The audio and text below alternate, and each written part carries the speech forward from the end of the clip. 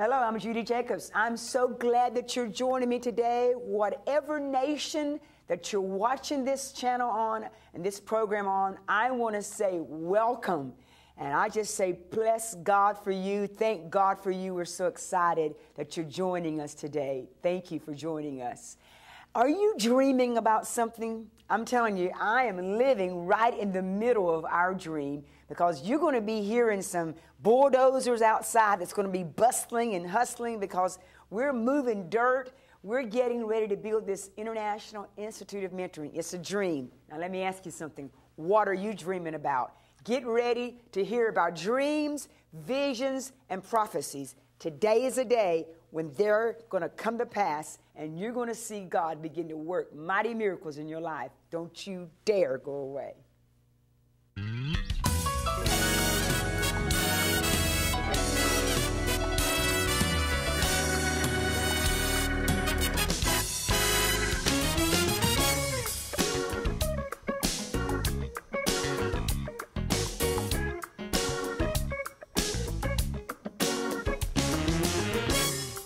When God gives you a dream, He gives it to no one else but you.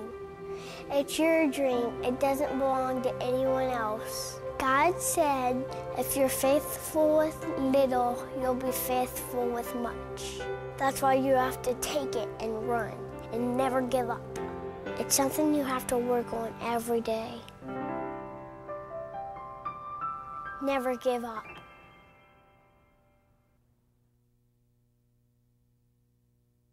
Dreams, visions, and prophecies have always been connected to the Word of God. I believe that God has used dreams and visions and prophecy and still today uses dreams, visions, and prophecies. I know that if I would poll you today, go to your house and ask you, is there anything that you're believing God for? Is there someone that has spoken a prophecy over you? Is there a dream that you have in your heart that you haven't as of yet seen come to pass? I have a word today that I believe is going to change your life, that's going to make you dream even bigger. So I want you to stay tuned today. You're going to be excited and you're going to be blessed by this music. You know what? I love to worship God, and that's what this song is about. It says, I will worship you. Come on, get in that frame, change the atmosphere in your house, and let's worship. My God is faithful. My God is truthful. My God is boundless in all He. My God is wisdom. My God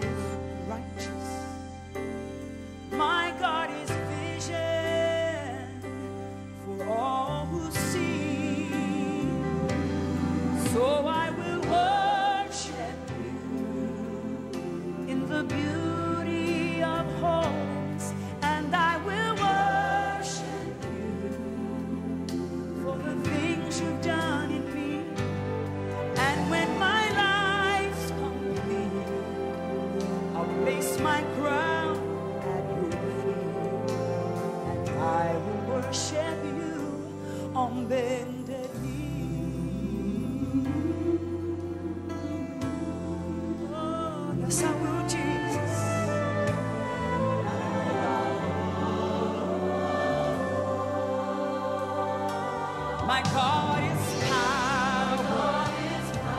My God is glory. Lord, you're the ruler over all that is. My God is timeless. My God is justice. My God is mercy, mercy, mercy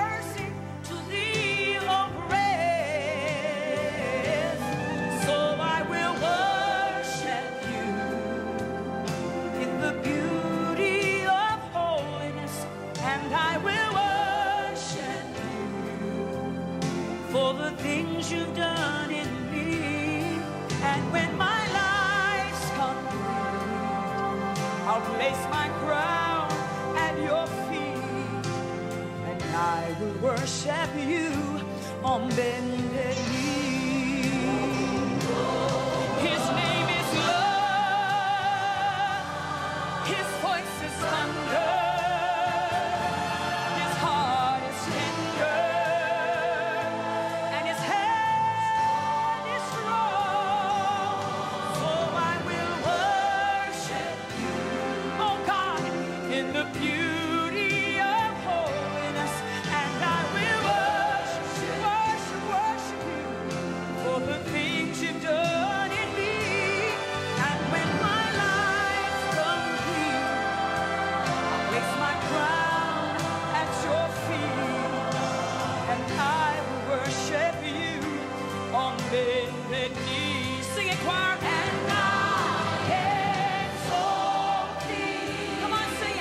God, there's nothing like the presence of God.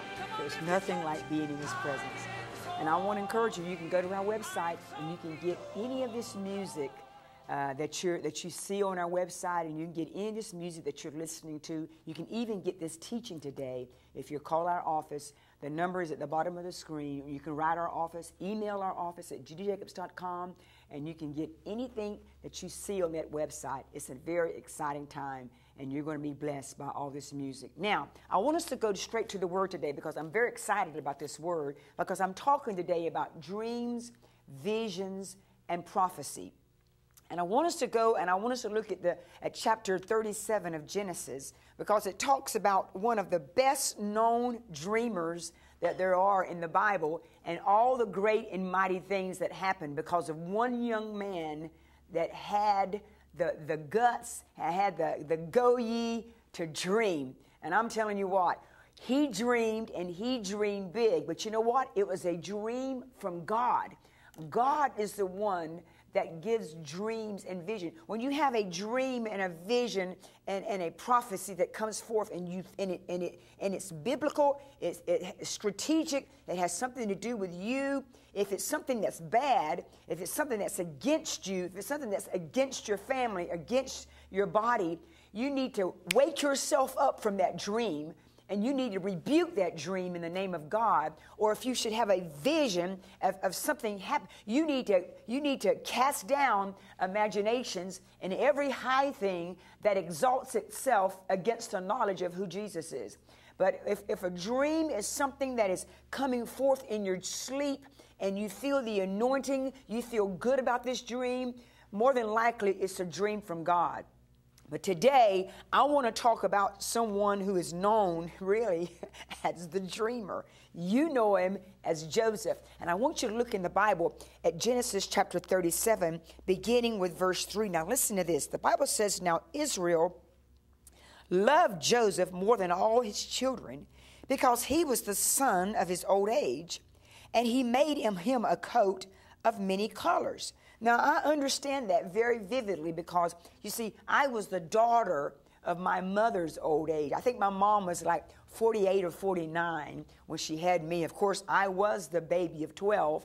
But I can understand Jacob because Jacob loved Joseph because he was the son of his old age, but he went on to have another son by the name of Benjamin.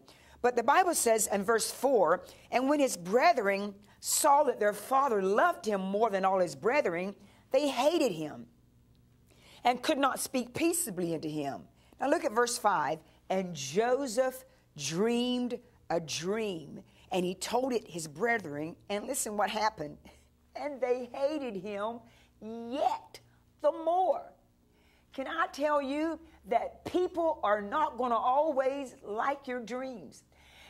Even your family sometimes are the worst people that's going to hate you for your dreams because nobody wants to see you go to another level.